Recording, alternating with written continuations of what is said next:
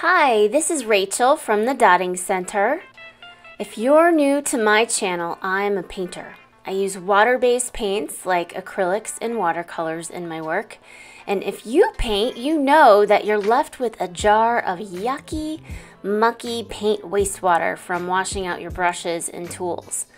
So the question is, how are we supposed to dispose of this wastewater? Well, if you've been dumping it down your sink, you've been doing it wrong.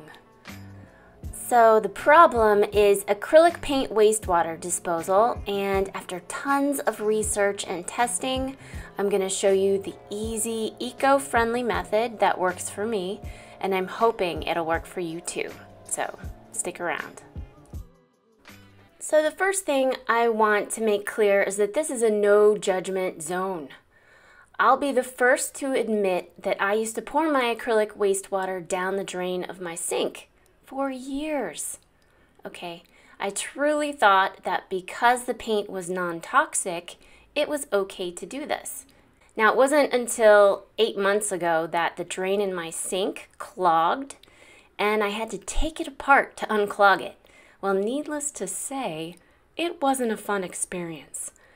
So I never wanted to do that again, but more importantly, it got me thinking about where this water goes, what's in it, and exactly how non toxic is it. Well, that led me down a rabbit hole, and I learned a whole bunch of stuff, and I'm about to share that with you right now. I think it's important to start any new green project in your home with a good answer to the question of why.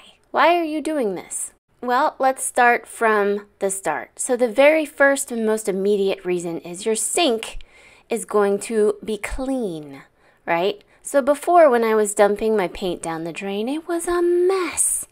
But now I dump it into a bucket and I totally bypass my sink, leaving it clean, fresh, and beautiful.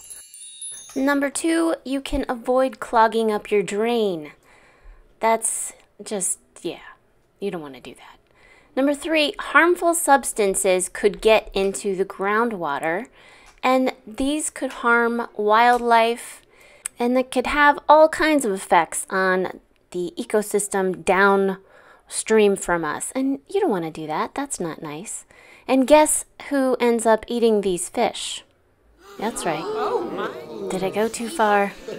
Sorry, buddy. And the final reason that you should do this is because you know what? It's just too easy not to do it. It's actually better than it was before when I was dumping it down the drain because I don't have to clean my sink all the time now. It's more of a lazy situation than it was before. And hey, who doesn't want a shortcut every once in a while? It's easy, it's a part of my routine, and it will be with you too. The hard part is getting set up, but luckily, Golden Paints has made that easy for us.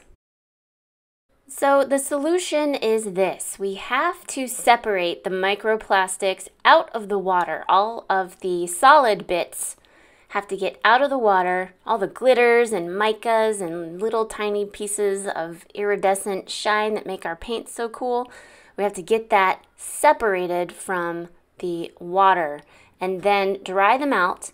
And then we throw the dried crusty bits away. And once these, uh, the acrylic residue is uh, dried, it becomes chemically inert and it's classified then as non-hazardous waste.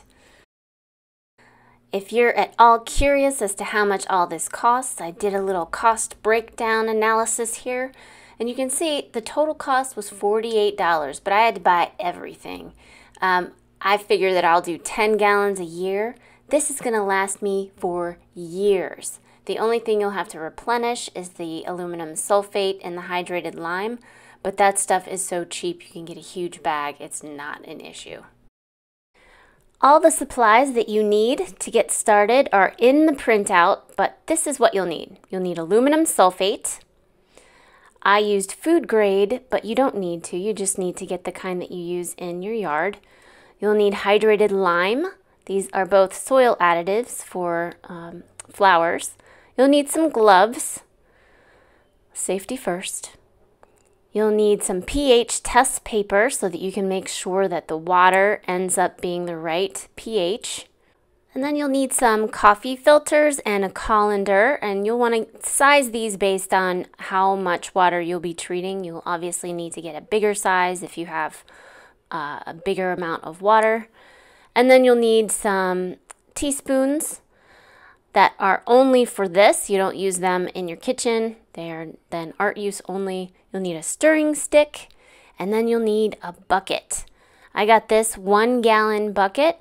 Make sure you get one with the lid so that it can fit tightly because it doesn't smell great. So, and then I just used a, um, a milk container that I cut out the top and then I put the colander inside. And then just because I'm weird, I taped it to the jug, but you don't need to do that. That's just uh, for added stability. Okay, so now that you've got all your supplies, let's do some science, artists. This is fun. So here is one gallon of acrylic wastewater. It takes me about a month and a half to get this much in um, that gallon. So the first step you want to add some aluminum sulfate. For one gallon, you need to use a half a tablespoon, well rounded, and you can just dump it right into your gallon and then start to stir. You want to stir it up really good.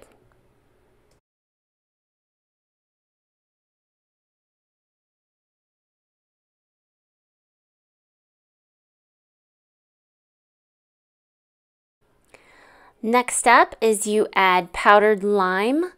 You add three quarters of a tablespoon to every gallon of wastewater that you're processing. And then you stir it up.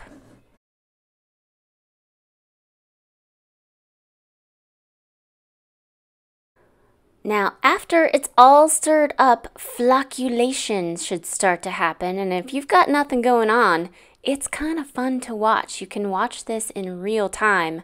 All of the solid bits start to kind of coagulate. They get together and they bond and they fall to the bottom of your bucket. This is a time lapse video, but you can see it just kind of works. It's magic.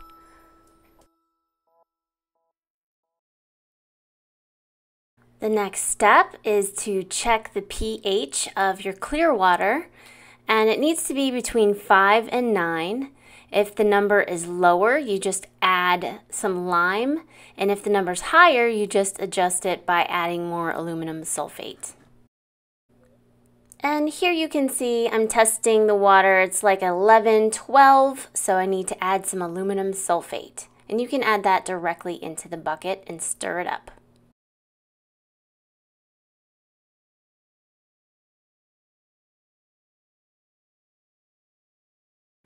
And now that your water is all stirred up, it goes back into flocculation mode and it does that whole thing all over again. so satisfying.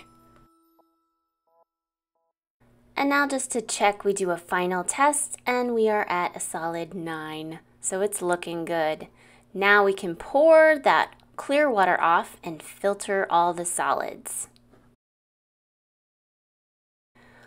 All right, so now you need to grab all your supplies, get your uh, gallon milk jug, your colander, your filters, and go ahead and assemble everything. I've found since doing this video that I only need to use one filter, but I used two for this video just because I was kind of going extra, but you really don't need two. One is just fine. And then you put that inside your colander and then pour the liquids the separated liquids into this filter.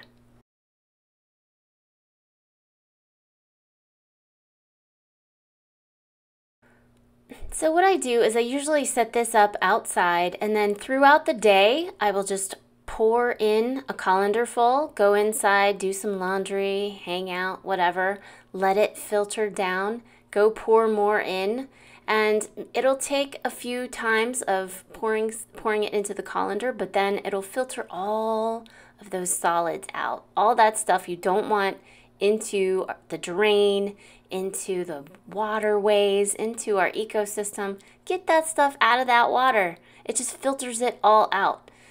And then once you're done, you just keep pouring more in until you're done with everything in your bucket. So, if you're into the science of flocculation, and I mean, who isn't, right? Hmm, you can watch a video that I've linked below. There you can enjoy listening to sciency people tell you all about colloids and turbidity and agglomerates and polarity and dispersion and various whatnots. Now, I could just read all that stuff to you, but clearly it's not in my wheelhouse. So I do think it's interesting though, and if you want to check it out, all the links are down below.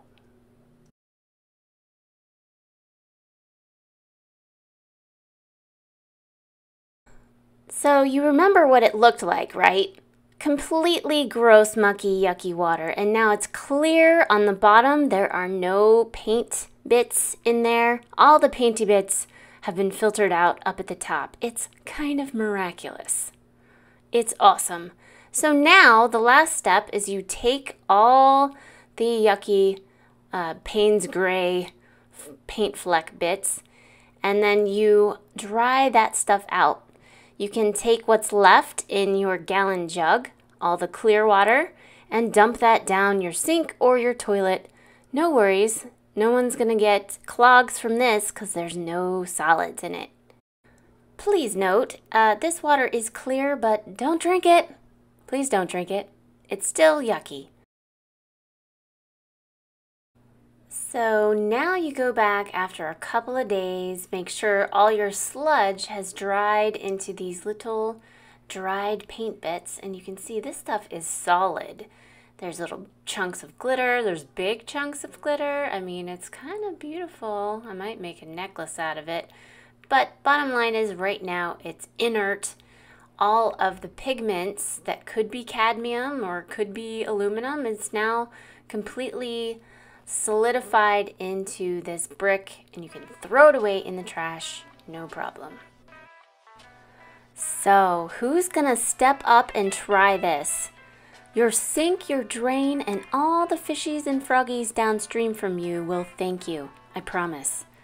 Now, I for one want to take a minute to say that I am super grateful to Golden Paints for providing the resources to us artists who are trying to do the right thing.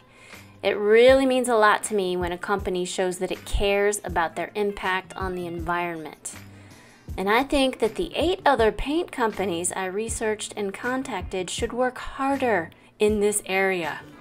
Just saying. Anyway, I hope you liked this video, and if you did, give it a thumbs up and subscribe to my channel. I have many more videos.